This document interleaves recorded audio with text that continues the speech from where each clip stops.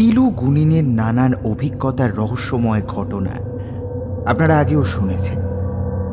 নিজের সুদীর্ঘ জীবনের অনেক রকম অলৌকিক এবং ব্যাখ্যাতীত ঘটনার স্মৃতির ডালি নিয়ে যখন তিনি মুখ খোলেন, তখন চমকে উঠতে হয়।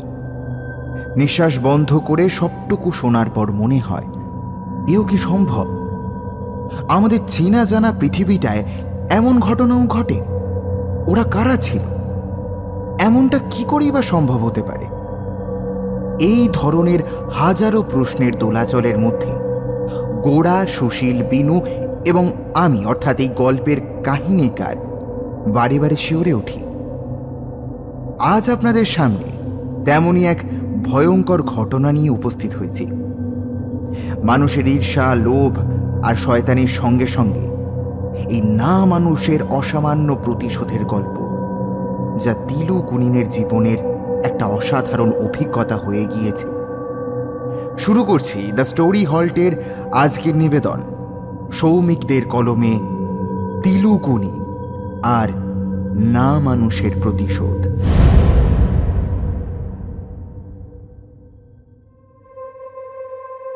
তিলু গুনিনের জীবনের অদ্ভুত এবং রহস্যময় অনেকগুলো ঘটনা তোমরা আগেও শুনেছ।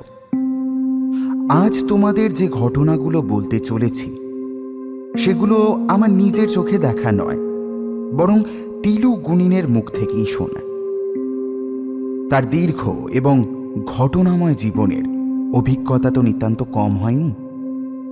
কিন্তু সেসব কথা সে সযত্নে গোপন করে রেখে দিত লোকচক্ষুর আড়ালে।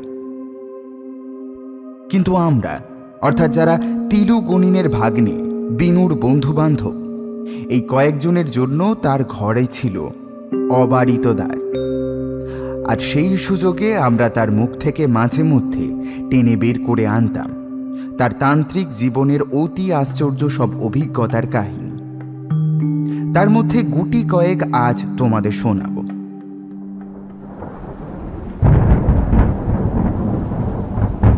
সেদিন সকাল থেকেই অঝোরে বাদলা নেমেছে।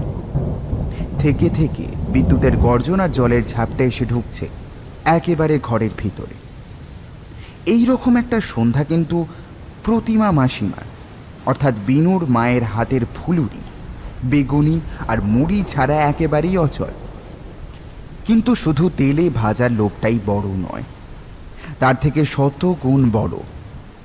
একটা লোভনীয় ব্যাপার কিন্তু এই বাড়িতেই রয়েছে। সেটা হলো তিলু মামার জীবনের গল্প শোনা। আধ ঘণ্টা নাম করে। কখন যে তিন ঘণ্টা কেটে যায়, তা ধরতেই পারি না।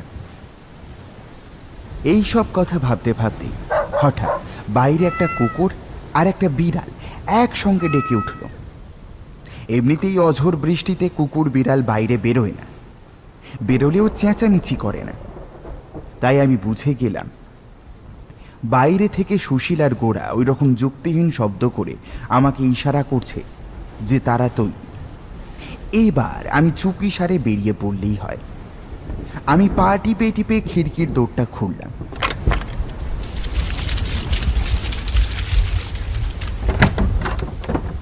বিনুদের বাড়িতে ঢুকে গামছা দিয়ে ভালো করে মাথা মুছে ভেতরে ঢুকলাম। তিলুগুনি সদ্য পুজো সেরে রক্তাম্বর বদলে একখানা ফতুয়া আর হেঁটো ধুতি পরে। মুড়ি হাতে ঘরে ঢুকে। আমাদের দেখে গম্ভীর গলায় বলল এই ভর সন্ধ্যায় পড়ালেখা শিখে তুলে বাড়ি পালিয়ে গল্প গাছা করতে জুটেছিস সব হ্যাঁ? নিজেরাও গোল্লায় গেছিস আর আমাদের বিনুটাও যাচ্ছে তাই। বারে বাড়ি থেকে পালাবো কেন? বলেই এসেছি মামা। তোমাদের বাড়ি আসছি শুনলে আমাদের বাড়িতে কখনো বকাঝকা আর বানিয়ে বানিয়ে সাত কাহন গাইতে হবে না। বাড়িতে জানিয়ে বেরোলে অন্তত একটা ছাতা দিয়ে দিত তারা। এভাবে গরুর মতো ভিজে আসতি না। এই বলে মুড়িটা হাতে নিয়ে, জয় ভবানী, জয় মা তারা বলে খাটের এক কোণে বসল তিলু মামা প্রতিমা মাসিরা আমাদেরকে একটা বাটি করে মুড়ি আর তেলে ভাজা দিয়ে যায়। তখনই আমাদের নিজেদের মধ্যে চোখাচোখি হয়ে যায় একবার। এই ইশারার একমাত্র অর্থ হচ্ছে, এইবার তিলু গুনিনকে বাগে পেতে গেলে নিজেদের মধ্যে অসম্ভব সব আলোচনা আর তর্কাতর্কি আরম্ভ করতে হবে। সেই তর্কাতর্কির কোনো বাধা ধরা বিষয় নেই। যুক্তি থাকতেই হবে, এমনও কোনো কথা নেই। সলতে জ্বালানোর জন্য আগুনটুকু দরকার শুধু। সে আগুন চকমকির হোক কি দেশলাইয়ের। তাতে কিছু যায় আসে না। যে কোনো প্রসঙ্গ নিয়ে আরম্ভ করতে করতেই, এমনিতেই তা চেঁচামেচিতে পৌঁছে যায়। আর সেই তর্ক থামাতে গিয়ে তার মধ্যেকার একটি না একটি ফাঁদে তিরু মামা পা দেবেই তো সেই দিন তর্ক আরম্ভ করার কথা ছিল সুশীলের। সুশীল তিলু মামার দিকে একবার আর চোখে তাকিয়ে নিয়ে বলল ব্রহ্মই আসল বাকি সব মায়া বুঝলি? আমি মুড়ি চিবোতে চিবোতে বিষম খেলা সেরেছি আর কি। এত ভয়ানক গুরু গম্ভীর তত্ত্বের কচকুচি শুনলেই তিলু মামা আমাদের অভিসন্ধি ধরে ফেলবে। তিলু মামাও দেখলাম মুড়ি চিবানো বন্ধ করে সরু চোখে আমাদের দিকে চেয়ে অস্ফুট তাচ্ছিল্যের সুরে বলল বাহ সে তো জানাই কথা। কিন্তু ব্রহ্ম ছাড়া আর সবই যে অপদার্থ, তাই বা কি করে হয়? যেমন ধরো, এই ফুলুরি। এই কি কোনো পদার্থ গুণ নেই? খেতে তাহলে এত ভালো লাগে কেন? ফাজলামি করিসনি কিসের সঙ্গে কি? স্বাদটা অনেকটাই মনের ব্যাপার। না হলে এক খাবার সবার সমান ভালো লাগে না কেন বলতো? আমি বলছি অন্য কথা। ভেবে দেখেছিস কখনো?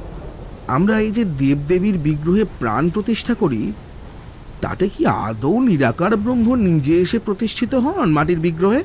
হুম? হ্যাঁ তুমি আকাশে মুখ তুলে যত ইচ্ছে ঈশ্বরকে ডাকো, তিনি নিরাকার রূপে সেখানে বিরাজমান। আমার তো মনে হয় নিরাকারকে মাটির মূর্তির মধ্যে না খুঁজে বরং নিরাকার রূপে পুজো করা উচিত। তাহলে তুই বলতে চাস, এই পুজোয় দেবদেবীর মূর্তির কোনো প্রয়োজন নেই? সব তুলে দিয়ে আকাশের দিকে চেয়ে থাকলেই হয়ে যাবে। তিলু মামা নিজেই তিনবেলা মা কালীর সেবা করে। তাই আমার বেশ আশা ছিল যে এইটুকুতেই সে তেড়ে উঠবে। কিন্তু যা ঘটল, তা সম্পূর্ণ উল্টো। তিলু মামা তৃপ্তি করে একটা বেগুনিতে কামড় দিয়ে বলল সুশীল ভুলটা কি বলেছে? ঠিকই তো বলেছে। সে কি তুলু মামা? তাহলে হিন্দুদেরও নিরাকার সাধনার বিধি রয়েছে? কোন পুজোতে? রয়েছে মানে?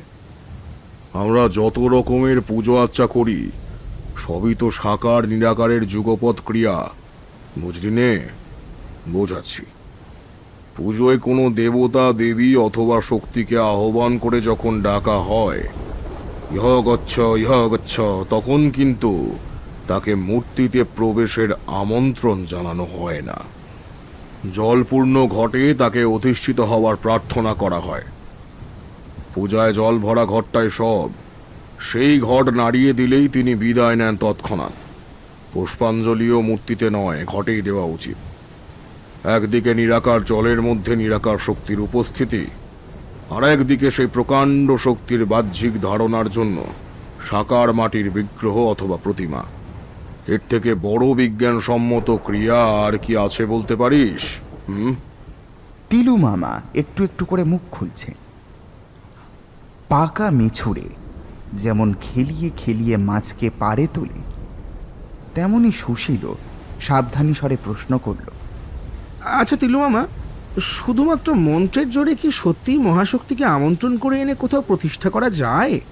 হ্যাঁ, মানে ইয়ে বলতে চাইছি আর কি ঠিক দেবদেবীর বিগ্রহে নয় মানে অন্য কোনো বস্তুতেও কি প্রাণ প্রতিষ্ঠা করা যায়? শুধু মন্তর কেন? মন দিয়ে প্রাণ দিয়ে সরলান্তকরণ দিয়ে ডাকলে যে কোনো বস্তুতেই দেবত্বের প্রকাশ ঘটে। তা সে ইট কাঠ পাথর কিংবা কুকুর মাকুর যাই হোক না কেন। ঠিক বিশ্বাস হয় না। লোকে তো কত উদ্ভট কথাই গাল গল্প দেয়। আপনার দেখা এমন কোনো ঘটনা আছে নাকি, মামা? আপনি বললে বিনা তর্কে মানতে রাজি। উত্তরে, তিলু কুনিনের চকচকে চোখ দুটো যেন ধীরে ধীরে ঘোলাটে হয়ে এলো। তার চোখের ঝাপসা দৃষ্টি যেন বহু বহু দূরে স্মৃতি হাতরাতে আরম্ভ করল। আর যখন অতীতের ঘটনাগুলোকে সুসজ্জিত করে তা ফিরে এলো তিলু মামার চোখ আবার ঝিঁকিয়ে উঠল লণ্ঠনের আলোতে। আছে এমন ঘটনাও আছে। নিষ্পাপ ডাকে সাড়া দিতে এসেছিল সে। আমাদের শরীরে কেমন যেন একটা শিহরণ বয়ে যায়। তিলু মামার কথা বলার ধরনটা যেন স্বাভাবিক নয়। সেই মানে? কে এসেছিল তিলু এখানে কে প্রশ্নটার উত্তর নেই রে। আমিও পাইনি। সেই ভয়ানক প্রতিহিংসা পরায়ণ সত্তাটা যে ঠিক কে ছিল, তা আজও ঠিকঠাক জানি না। শুধু কি ঘটেছিল সেটাই বলতে পারি। অনেক বছর আগের ঘটনা, বুঝলি? আমি সেবার বেড়াতে গিয়েছিলাম পুরুলিয়ার রঘুনাথপুরে আমার বন্ধু মনির বাড়ি। দ্বিতীয় দিন এক গৃহস্থ ধরনের বছর ত্রিশের ছেলে এসে উপস্থিত হলো মনির বাড়িতে। তার বেশভূষার কিছু মহার ঘটা আছে ঠিক, কিন্তু তার চোখ মুখ বলছে, সে কিছুদিন ধরে মানসিক চাপ সহ্য করে চলেছে। কথা বলে বুঝলাম, সে এসেছে মনির কাছে প্রতিকার চাইতে। ওই তল্লাটে মনির চেয়ে বড় গুণীর নেই। ছেলেটি যে ঘটনাটা বলে গেল, তা কিছুটা অদ্ভুতই বটে। ছেলেটির নাম রাঘব। তারা তিন পুরুষ ছোটনাগপুরেরই বাসিন্দা। কিন্তু বেহার ঘেঁষা বছর দুয়েক তার পিতৃবিয়োগ ঘটেছে। বাপের সম্পত্তি ছিল অগাধ। সেই সম্পত্তি দুই ভাগে ভাগ করে নিয়ে তার ছোট ভাই রণজয় বিহারে বিরাট হোটেলের ব্যবসা করেছে। আর রাঘব মন দিয়েছে কাঠের আসবাবপত্রের কারবারে। দুই ভাইয়ের খুব বাপ মাঝে মধ্যে রণজয় বিস্তর খেলনা লেমন চুস এটা ওটা নিয়ে আসে তার একমাত্র আদরের ভাইপো অর্কর জন্য মাঝে মধ্যে রাঘবকে হেসে বলে তোমার কারবার নিরস আর আমার কারবার অতীব সুস্বাদু। রাঘবের পাঁচ বছরের একমাত্র ছেলে অর্ক হল। বাপ মায়ের সবেধন নীলকান্ত মণি। রণজয় তার ভাইপোকে এই বয়সেই দলে টানার জন্য বলে শোন বেটা বড় হয়ে তুই হোটেল খুলবি। কাঠের কারবার করতে হবে না তোকে। সেই লোভে বালক সম্মতি দেয়। তো সমস্যাটা আরম্ভ হলো। রাঘব তিন মাস আগে বেহারি গাঁয়ে একখানা পুরনো শক্তপোক্ত বাড়ি কিনে সপরিবারে উঠে আসার পরই। বাড়িটা খোলামেলা, দোতলা। শক্ত ইটের মধ্যে চুন সুরকির গাঁথুনি দিয়ে তৈরি বড় সড়ো বাড়ি। পাশ্চাত্য ছাদে জানলাগুলো গড়াত মুক্ত বাড়ির চারপাশে অনেকখানি জায়গা নিয়ে বড় উঠোনে গুটি কয়েক শাল, মহুয়া আর বারো মাসা আমের গাছ। পিছনে একটা ছোটখাটো কিন্তু পরিষ্কার ডোবা। দুই তলার জানলা উন্মুক্ত করে দিলে দূরে ঝাপসা পাহাড়ের সারির আড়ালে মেঘ জমে থাকে। সব মিলিয়ে অতি মনোরম দৃশ্য। কিন্তু এত চমৎকার বাড়িতে পা রেখেও কিন্তু রাঘবের পরিবার খুশি হতে পারল না। দুটো দিন কাটিয়ে রাঘব আর তার স্ত্রী অঞ্জলির বারবার মনে হতে লাগল, বাড়িটার সব কিছুই যেন ঠিকঠাক নেই। কোথাও কিছু একটা অস্বাভাবিক রয়েছে, যা একটা বাড়িতে থাকার কথা নয়। আরও দিন কতক যেতে, তারা সেই অস্বস্তিটা আরও পরিষ্কারভাবে টের পেল। বাড়িটার আনাচে কানাচে যেখানেই তারা যায়, মনে হয় কে যেন আড়াল থেকে লক্ষ্য করে চলেছে। কে যেন সর্বভেদী চোখ মেলে প্রতিটা পদক্ষেপ মেপে চলেছে অক্লান্তভাবে। প্রথমটা আমার মনের ভুল অথবা নতুন পরিবেশে মানিয়ে নেওয়ার সমস্যা ভেবে রাঘব এসবে দিকপাত করেনি। কিন্তু ক্রমে ক্রমে তারও বুক দুরু দুরু করতে আরম্ভ করল। এই অস্বস্তি বলে বোঝাতে পারা যায় না। একবার বেশ রাতে জল পিপাসা পেলে ঘোড়ার জল গড়িয়ে পান করতে গিয়ে রাঘবের হঠাৎ মনে হলো, তার ঠিক পিছনে কেউ যেন দাঁড়িয়ে তার দিকে নির্নিমেষে চেয়ে রয়েছে। খুব অস্পষ্ট শ্বাস প্রশ্বাসের শব্দ কানে এলো।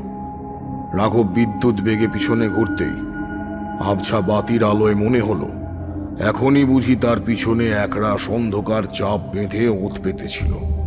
তার ঘোড়া মাত্র সেটা পলকের মধ্যে চূর্ণ বিচূর্ণ হয়ে মিলিয়ে গেল। ভয়ে রাঘবের ঠিকঠাক ঘুম হলো না, কিন্তু পরিস্থিতি বিচার করে সে বাড়িতেও কিছু জানালো না এই ঘটনার কথা। এবার আসল কথায় আসি। দাদার নতুন বাড়িতে কিন্তু রণজয় এখনও আসেনি। তার ফলাও কারবারে ছুটি নেওয়া বড় বিড়ম্বনার কথা, কিন্তু তার মধ্যেও সময় বার করে, দিন কয়েকের অবসর বের করে রণজয় এসে উঠল দাদার নতুন বাড়িতে। সবার জন্য হাত ভরে মনোহরি জিনিসপত্র নিয়ে এসেছে সাধ্যমতো। বৌদির জন্য সুগন্ধি, শাড়ি আর তরল আলতা। দাদার জন্য দেবঘরের খাঁটি ঘি ধুতি জোড়া আর অর্কর জন্য হরেক খেলনা আর লজনচুস কিন্তু এত উপহার পেয়েও কারোর মধ্যেই প্রাণ খোলা হাসি নেই উচ্ছ্বাস না দেখতে পেয়ে রণজয়ের মনে খটকা লাগল। এমন শীতল আচরণ সে তো আগে কখনো পায়নি। কিছু হয়েছে নাকি? রাতে রণজয় ধীরে ধীরে দাদা বৌদির থেকে সবটুকু শুনে পুরোপুরি বিশ্বাস করতে পারল না। আবার তার দাদার মতো গুরুগম্ভীর বাস্তববাদী মানুষের কথাগুলো উড়িয়েও দিতে না পেরে ধন্ধের মধ্যে পড়ে গেল। সেই রাতে বাইরে হঠাৎ ঝড় উঠল। প্রবল ঝড়ে যেন বাড়িটা ধরে কাঁপাচ্ছে কোনো রাক্ষস। রাঘব একবার খড়খড়িটা ফাঁক করে বাইরেটা দেখে আবার খড়খড়ি ফেলে দিয়ে পালঙ্কে এসে ভাইয়ের পাশে শুষ্ক মুখে বসল। রণজয় একটু হেসে বলল আচ্ছা দাদা এইবার কি একটা ঝড় বাদলার মতো প্রাকৃতিক ঘটনাও তোমার কাছে ভয়ের কারণ হয়ে দাঁড়াল? এইরকম ঝড় কোথায় না হয় বলো তো? রাঘব মাথা না তুলেই উত্তর দিল এইরকম ঝড় সত্যিই কোথাও হয়নি রণ খড়খড়িটা তুলে দেখ। রণজয় বিস্মিত হয়ে খড়খড়ির পাল্লাটায় চাপ দিতে চোখ রেখে ভালো করে চারিদিক খেয়াল করেই ভীষণ অবাক হয়ে গেল। ঝড়টা শুধুমাত্র এই বাড়িটার চৌহদ্দির মধ্যেই হয়ে চলেছে। তার বাইরের গাছপালা, ঝোপঝাড় সব শান্ত। রণজয় চিন্তিত মুখে দাদার পাশে এসে শুকনো গলায় বলল, তবে বোধহয় ঘূর্ণিঝড় হবে। অনেক ঘূর্ণিঝড় শুনেছি খুব ছোট জায়গায় দাদার আহত চোখের দিকে তাকিয়ে রণজয় আর কথা বলতে পারল না। তার নিজের কথাগুলো নিজের কাছেই অসহায় সান্ত্বনার মতো ঠেকল। কিছুক্ষণ পর ঝড় থেমে গেলে রণজয় জানলা কিন্তু আর খুলল না। ও ঘরে সস্টিক রাঘব এবং এই ঘরে ভাইপোকে বুকে জড়িয়ে রণজয় শুয়ে রইল। রণজয়ের মনে চিন্তার ঢেউ খেলতে থাকল সারা রাত। এই ঘটনা প্রবাহ কিন্তু কোনো বিরতি না নিয়েই নতুন নতুন উদ্যমে ঝাঁপিয়ে পড়তে থাকল রোজ। পরের রাতের ঘটনা, রাত নয়, সন্ধ্যা বলা চলে শহরের হিসেবে। আটটা নাগাদ অঞ্জলি একতলার রসুই ঘরে ঢুকে অর্কর জন্য দুধ গরম করে একটা গিলাসে জল জুড়োতে দিয়ে রসুয়ের বাইরে কি একটা কাজে এসেছে। রাঘব বাতির আলোতে বসে হিসেবপত্র মেলোচ্ছে একতলাতেই। আর অর্ক তার কাকার কোলে বসে গল্প শুনছে। হঠাৎ রণজয়ের মনে হলো, রসুই থেকে যেন সাত করে সরে গেল। রণজয় একটু আগেই তার বৌদিকে রসুই থেকে বেরিয়ে যেতে দেখেছে। তাই সে একটু বিস্মিত হয়ে অর্ককে কৌচে বসিয়ে ধীরে ধীরে রসুয়ের ভিতরটা ঘুরে এলো। কিন্তু কেউ নেই। রণজয় আবার এসে বসে পড়ল। একটু পরেই অঞ্জলি রসুইতে ঢুকে দুধের গেলাস নিয়ে বেরিয়ে এসে ছেলের হাতে দিতেই রণজয় কিছুটা অনিচ্ছার সঙ্গেই সেটা ভাইপোর হাত থেকে তুলে নিল। অঞ্জলি একটু বিস্মিত হয়ে শুধল কি হয়েছে ঠাকুরপো? রণজয় একবার দুধের গেলাসের দিকে সন্দেহের চোখে তাকিয়ে শুধল বৌদি তুমি এখন এই দুধটা আনার আগে এক্ষুনি আরেকবার রান্নাঘরে ঢুকেছিলে কি? হ্যাঁ দুধটা গ্লাসে ঢেলে জুড়োতে দিয়ে বাইরের কাপড়গুলো তুলে আনলাম তারপর এখন আবার ঢুকলাম। তার মাঝখানে? না তো।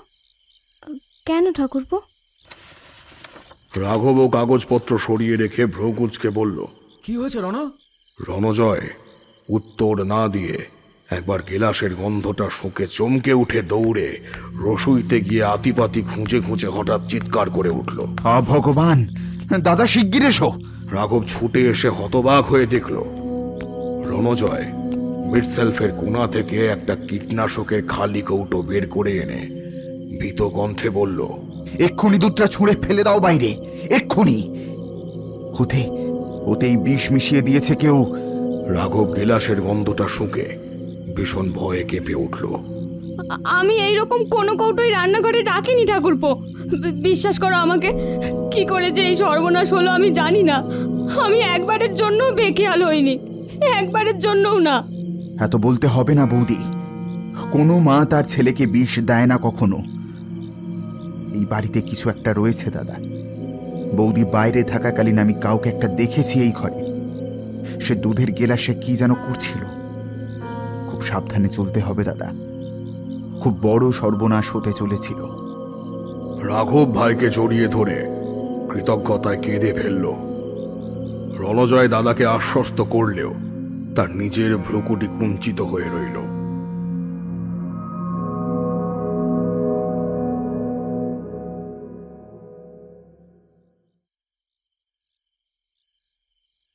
আবার রাত ঘনীভূত হলো।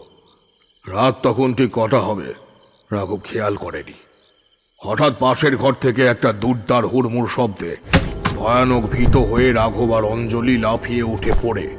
টর্চ বাতি নিয়ে পরিমরি ছুটে এসে ঘরে গিয়ে টর্চের তীব্র আলো ফেলতেই প্রথমে মনে হলো, একটা কুচকুচে কালো এবং ঝাঁকড়া চুলো কিছু যেন গরাদ মুক্ত জানলা দিয়ে নক্ষত্রের বেগে ছুটে বেরিয়ে গেল। আর তারপরেই চোখে পড়ল রণজয় হতবাক। হতভম্ব হয়ে শয্যায় উঠে বসে খোলা জানলার দিকে আতঙ্কে তাকিয়ে রয়েছে। অর্ক ঘুম ভেঙে উঠে কেঁদে ফেলেছে। কিন্তু তার চেয়েও ভয়ানক জিনিসটা মেঝেতে পড়ে গড়াগড়ি খাচ্ছে। একটা কীটনাশকের ঢাকনা খোলা শিশি তার থেকে তরল গরল মেঝেতে ছড়িয়ে উগ্র গন্ধ ছড়াচ্ছে গোটা ঘরে। কেউ যেন এখনই ওটা নিয়ে কোনো দুরভিসন্ধি নিয়ে ঘরে ঢুকেছিল। কিন্তু তা বিফল হয়ে যাওয়াতে তীব্র আক্রোশে সেটা ছুঁড়ে ফেলেছে মেঝেতে এবং ঝড়ের বেগে ছুটে পালিয়েছে। বাকি রাতটুকু সকলে একসাথে জেগে কাটালো।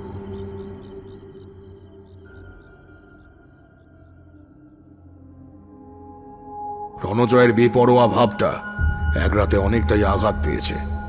অঞ্জলি থেকে থেকে থরথর করে কেঁপে চলেছে ভয়ে। আর রাঘবের মনের আতঙ্ক বলে বোঝানোর নয়। পরের দিন রণজয় কাছাকাছি বাজারে বেরিয়ে বাড়িটার সম্পর্কে খোঁজ খবর নিল লোকজনের কাছে। কিন্তু কেউই খারাপ কিছু বলল না। বিশেষ করে বাড়ির মালিক যে বৃদ্ধ, তিনি এখনও জীবিত এবং রঘুনাথপুরে বহাল তবিয়াতে বাস করছেন। কোনো দুর্ঘটনার কথা কেউ কখনো শোনেনি। ফলে সুরাহা হলো না। দুপুরের আহারান্তে রণজয়ের কোলে বসে আদর খাচ্ছে রাঘব আর অঞ্জলি বসে টুকিটাকি কথাবার্তা বলছে। হঠাৎ রণজয় কান খাড়া করে বলল দাদা, ওটা কিসের ডাক?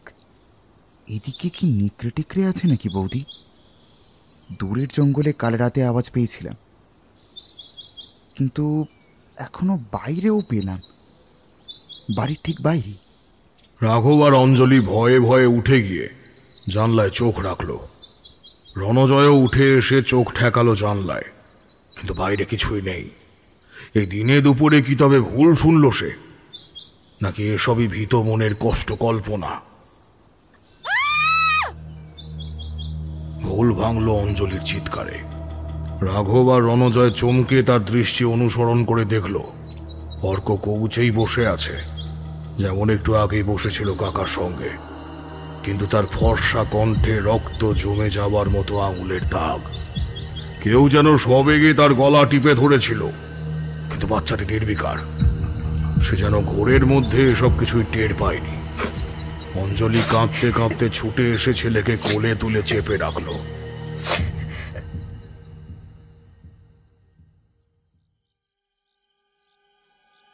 এইবার এলো ভয়ানক রাত। আর সব দরজা জানলা শক্ত করে এঁটে ঘুমোনো হয়েছিল। কিন্তু শেষ রক্ষা হয়নি। মাঝরাতে একটা অতি ভয়ঙ্কর গর্জনের শব্দে তন্দ্রা ছুটে গেল রাঘবের। সে অবচেতনে বোধ করি তৈরি ছিল। টর্চটা নিয়ে বিদ্যুৎ বেগে ছুটে রণজয়ের ঘরের দোর বন্ধ দেখে ভীষণ পদাঘাতে ভেঙে ফেলল তোর আর পাথরের মতো স্থির হয়ে গেল। ঘরের ভেতর অর্ক হাউমাউ করে কেঁদে চলেছে। খোলা জানলার দিকে আঙুল উছিয়ে ঘরের অনুজয় নেই। অর্কর গলায় আবার আঙুলের ছাপ। রাঘব জ্ঞান শূন্য হয়ে ছুটে জানলায় গিয়ে বাইরে টর্চ ঘোরাতেই ভীষণ দৃশ্য চোখে পড়ল। বাইরে মহুয়া গাছটার একটা ডালের থেকে একটা তীক্ষ্ণ অংশ ছোড়ার মতো বেরিয়ে রয়েছে। সেই তীক্ষ্ণ ধার ডালে অবলীলায় কোনো রাক্ষসে খুনি রণজয়ের দেহটাকে গেঁথে দিয়েছে তীব্র জিঘাংসায়। রণজয়ের মৃতদেহ থেকে রক্ত পড়ে মাটি ভিজে রয়েছে। রাঘব সংজ্ঞা হারালো।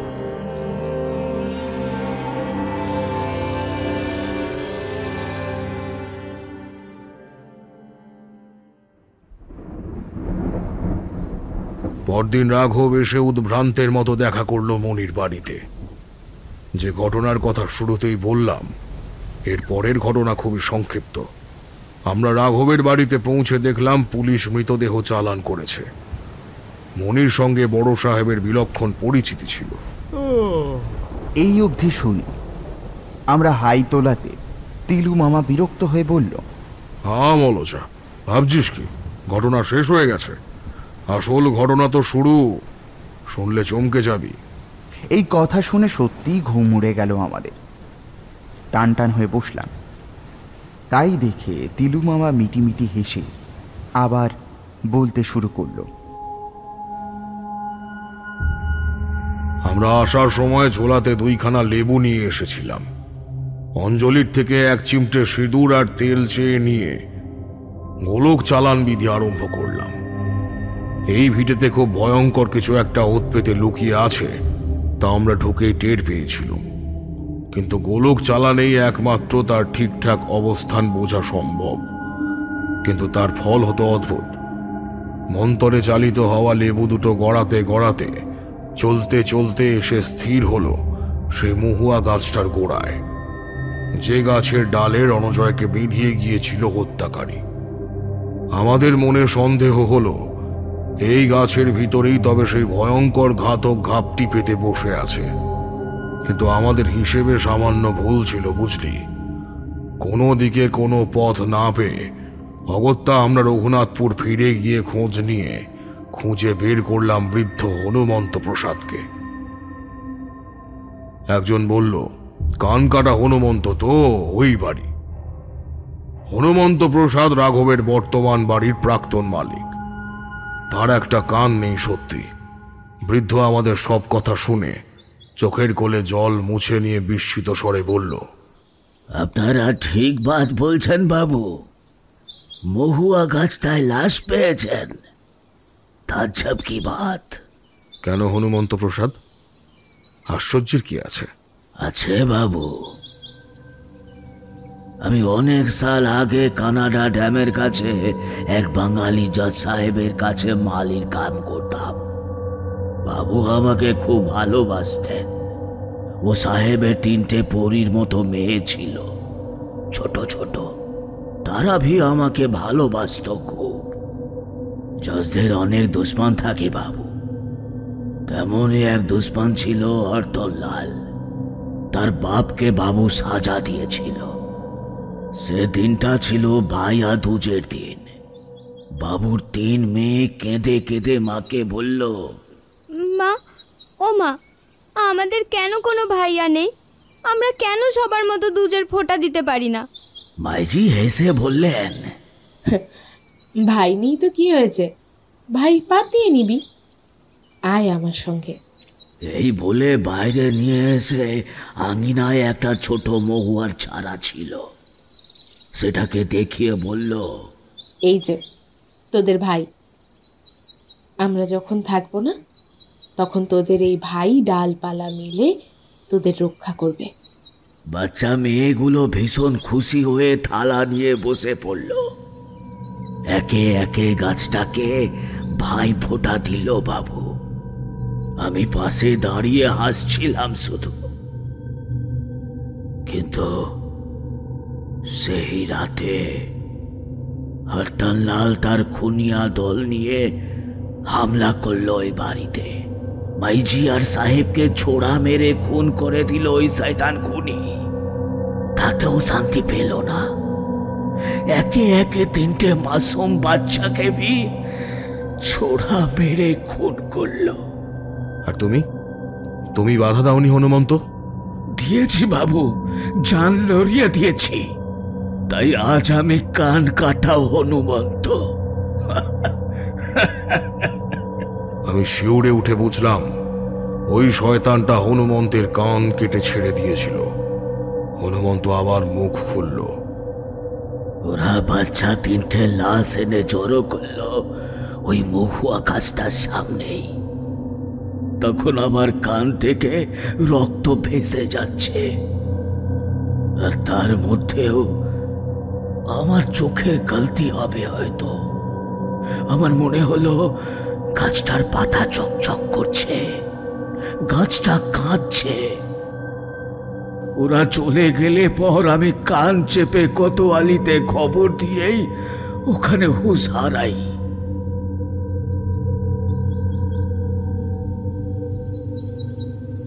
চোখ খুলে পর শুনলাম একমাত্র সাহেব বেঁচে গিয়েছেন। কিন্তু সব শেষ। সব শুনে উনি পাগল হয়ে গিয়েছে। এক মাস পর বাবু আমাকে অনেক টাকা দিল। দিয়ে বলল, এ টাকা নিয়ে চলে যা, হনুমন্ত।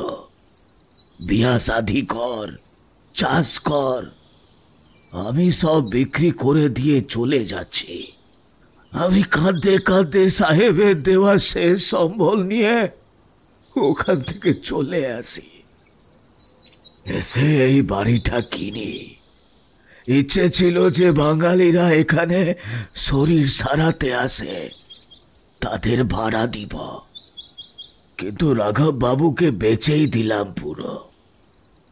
আর হ্যাঁ জাজ সাহেবের বাড়ি ছেড়ে আসার সময় আমি ওই ছোট্ট মহুয়া গাছটা ওখান থেকে তুলে এনেছিলাম, বাবু। মায়া হয়ে গিয়েছিল যে সেটাই ওই গাছটা যেটার কথা আপনারা বলছেন। আমি আর মর্নিং হোল লাগার মতো শুনছিলাম সব ঘটনা। এও কি সম্ভব? কিন্তু গাছটা রণজয়কে মারলো কেন? এর উত্তর পেলাম প্রেতাহুতির পর। আমরা যতজন নিবিষ্ট হয়ে গল্প শুনছিলাম সবাই সমস্বরে জিজ্ঞেস করলাম যে প্রেতাহুতি কি? এইবার কথায় বাধা পড়েও তিলু গুনিন কিন্তু অসন্তোষ প্রকাশ করল না।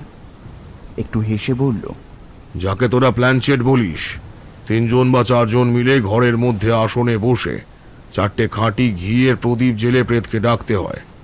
মাঝে মাঝে প্রদীপগুলো ফোঁদিয়ে নিভিয়ে দিয়ে দেখতে হয়, ঘি পোড়ার তীব্র গন্ধ আসছে কিনা। যদি গন্ধ পাওয়া যায়, তবে প্রেতাহুতি বিফল হয়েছে। আবার প্রদীপ জ্বালো, আবার ডাকো। এইভাবে যখন অতগুলো ঘিয়ের প্রদীপ নিভিয়েও এক ফোঁটা গন্ধ নাকে আসবে না, তখন বুঝবে কক্ষে প্রেত উপস্থিত হয়ে তোমার দিকে চেয়ে রয়েছে।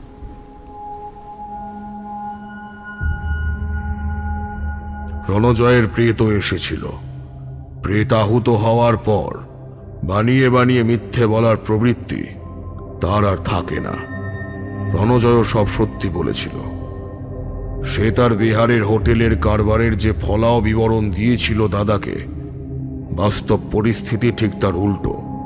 দেনার দায়ে জর্জরিত সব খুইয়ে রণজয় এসেছিল, দাদার সম্পত্তি হাতানোর কুটিল উদ্দেশ্য নিয়ে। সেদিন অঞ্জলি অথবা অন্য কেউই অর্ধেক দুধের গেলাসে বিষ মেশায়নি।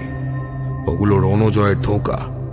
সে রান্নাঘরে ছায়ামূর্তি দেখতে পাওয়ার ভুজং দিয়ে ছুটে যায় এবং পকেট থেকে লুকোনো কীটনাশকের শিশি বের করে দুধে ঢেলে দিয়ে নিজেই আবার দাদাকে এনে সেটা দেখায়। উদ্দেশ্য ছিল প্রাথমিক বিশ্বাস অর্জন করা। এরপর সে রাতের বেলায় ভাইপোকে বিষ খাইয়ে দিলেও পুলিশ তাকে সন্দেহ করবে না। কারণ তার দাদা বৌদি বয়ান দেবে যে আগেরবার রণজয়ী অর্ককে বাঁচিয়েছিল। রণজয় চাইলে দাদাকে হত্যা করতে পারত, কিন্তু অত বড় কারবারি হঠাৎ অপঘাতে মরলে বিস্তর তদন্ত চলবে।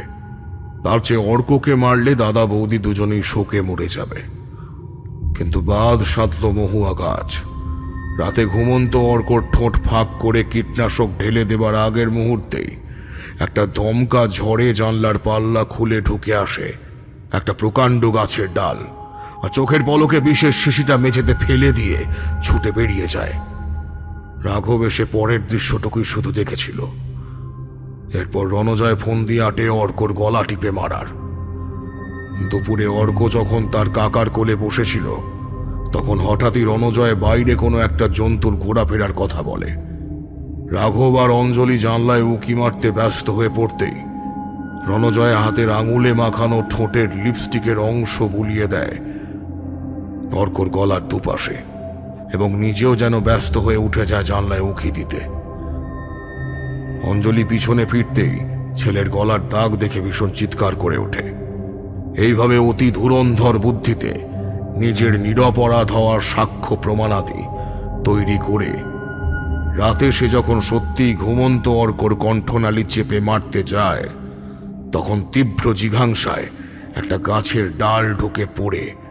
রণজয়ের চুল পেঁচিয়ে তাকে নিয়ে যায় বাইরে। রণজয় হতচকিত হয়ে দেখে, গাছটা এক জোড়া চোখ মেলে তার দিকে হিংস্র দৃষ্টিতে চেয়ে রয়েছে। রণজয়ের দেহটাকে এক ঝটকায় উপরে ছুঁড়ে দেয় ডালটা। আর দেহটা নিচে এসেই এফোড় ওফোড় হয়ে যায়। আর একটা মেলে ধরার তীক্ষ্ণ ডালে গেঁথে গিয়ে। আমরা রাঘবকে সবটুকু সত্যি বলিনি। সে হয়তো ছোট ভাইয়ের এই মনোভাবের আঘাতটা গ্রহণ করতে পারবে না। সরল বাচ্চাটা তার কাকাকে এত ভালোবাসত, তারও শিশু মনের কোমল বৃত্তিটুকুই বিকৃত হবে। আমরা চলে আসার সময় চোখ পড়ল মহুয়া গাছটার দিকে। মণি একটা লম্বা শ্বাস নিয়ে উদাসীন হয়ে বলল, বুঝলি তিলে ডাকার মতো ডাকলে পরে পাষাণের অশ্রু ঝরে। গাছটাও তিনটে সরল মেয়ের ডাকে সাড়া দিয়ে দেবত্বে উন্নীত হয়েছে রে। সেবার অসহায়ের মতো সে তার বোনেদের বাঁচাতে পারেনি। কিন্তু আজ সে সবল, শক্তিধর। সেবারের না হওয়া একটা অসমাপ্ত বিষারই বুঝি এইবার সে সম্পন্ন করল। পৃথিবীতে কোনো আকুল ডাকই ফেলা যায় না বোধ হয়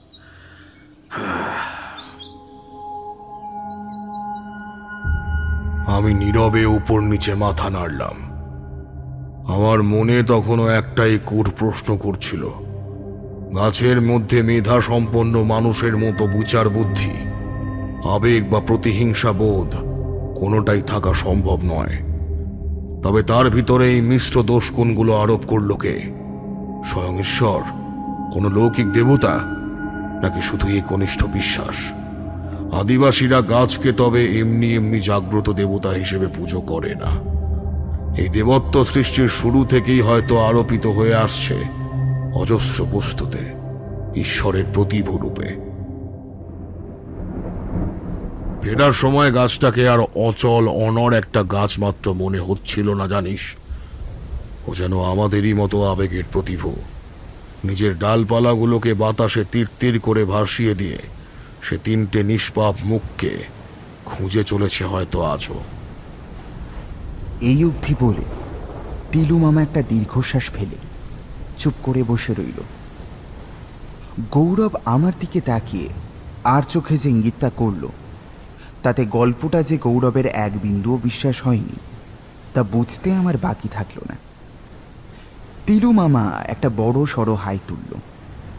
এটার মানে আমরা ভালোই বুঝি, অর্থাৎ এইবার পাত্তারি গোটাও। আমি একটু গদ গদ স্বরেই বললাম। আজ তবে আসি মামা। আবার একদিন এসে ভালো করে গল্প শুনব কিন্তু। জীবনের সত্যি ঘটনাগুলোকে নেহাতি গল্প হিসাবে দেখছি শুনে। তিলু মামা কটমট করে তাকিয়ে দরজার দিকে আঙুলটা সোজা করে দেখিয়ে দিয়ে বলল দূর হ নেমো খারাপের দল। দূর গোড়া মুখ কাচুমাচু করে বলল বেরো বললি বেরো। সমুদ্রের ঢেউয়ের মতো আধার করা বৃষ্টি হচ্ছে যে হ্যাঁ?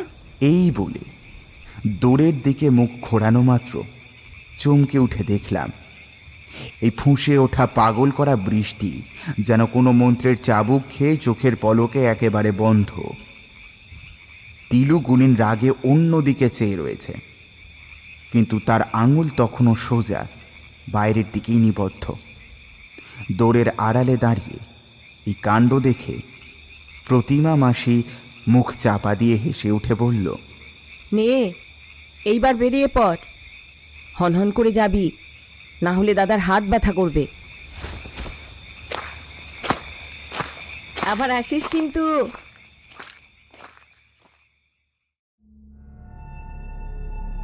আজ আপনারা শুনলেন লেখক সৌমিক দের লেখা তিলু গুনিন আর না মানুষের প্রতিশোধ। গল্পের সূত্রধার এবং গল্পপাঠ আমি রক্তিম অন্যান্য চরিত্রে ইভান সরকার সৌমি রুফিনা, মলয় এবং আমি রক্তিম পোস্টার ডিজাইন শুভদীপ, আবহ, আকাশ সহ পরিচালনা ইভান। সমগ্র অনুষ্ঠানটি পরিচালনা করেছে শুভদীপ ও অন্তরা। লেখক সৌমিক দেকে, দ্য স্টোরি হল্টের পক্ষ থেকে ধন্যবাদ জানাই। আরও নতুন নতুন গল্প শোনার জন্য সাবস্ক্রাইব করুন আমাদের চ্যানেল দ্য স্টোরি হল্ট।